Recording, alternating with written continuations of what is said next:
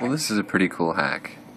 I took a old multifunction printer fax scanner and replaced the scanner portion with this 1440 by 900 LCD. It's about 10 years old.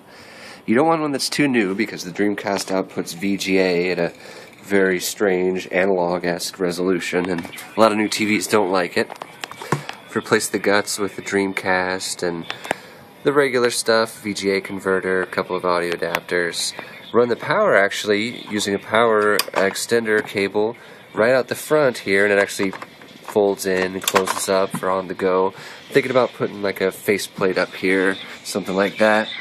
And then back here, the actually rear of the unit is where you play at, and uh, where the controller front plate's going to be. I'm thinking about putting a couple of controller ports here on the front plate. That'll be pretty fun.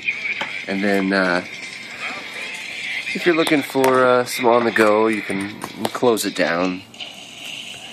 Folds down flat, and you take it on the go with you. Maybe I'll build a handle into the case. That could be pretty fun. Uh, I'm looking about maybe uh, some sort of arm or something like that. But for the time being, that's the Dreamcast printer.